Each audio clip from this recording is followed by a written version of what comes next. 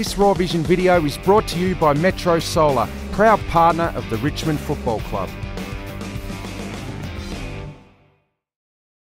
Peter, thanks for joining us on Raw Vision. Thanks to Metro Solar. We'll start off with some disappointing news. Uh, to start off with, Nathan Foley needed surgery recently.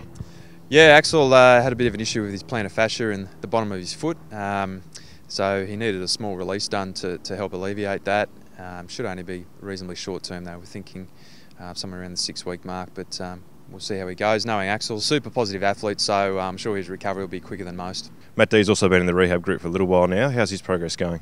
Um, yeah, Diesel's going well. Had a little interruption a couple of weeks back with a, with a kicking related hamstring injury. Um, so we're taking a really cautious approach, um, given they're a little different to a typical running hamstring injury.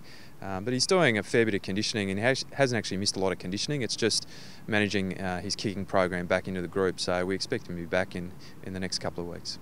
Corey Ellis, also one that had some minor surgery and has been getting close to full training. How's his progress going? Yeah, Corey's pretty much resumed full training this week. Um, he's had a, a, very steady progression being a first year player, and given the surgery he had and how much he'd missed, um, but we should see him uh, hopefully in the uh, practice matches for the, the, VFL in a couple of weeks. But it's really exciting to see a young player with his his ability come back into training. Does he have to do some extra work? Does he does he do some stuff off the side just to be able to get him ready for the start of the season?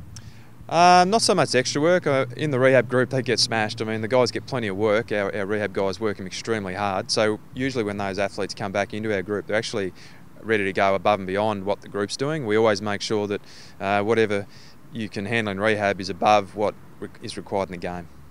And with a player like that, a young player in his first year, is it important not to rush them back too soon? Yeah, you don't want to rush them back. A young player, 18 years of age, with a reasonably serious injury, uh, hadn't trained or played since August last year. So we're always going to take our time with it, do the right thing by him coming into a new club, and just um, teach him a bit of patience.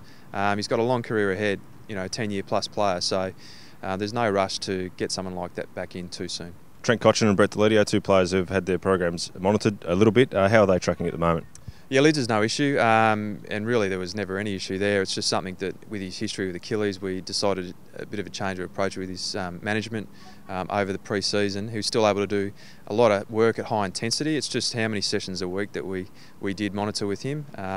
And he's going really well, so he's available to play this weekend. So Trent's on a managed program. He's uh, doing a lot of conditioning. He hasn't missed anything. Um, he's doing a fair bit to the side of the group. He's also doing a bit with the group.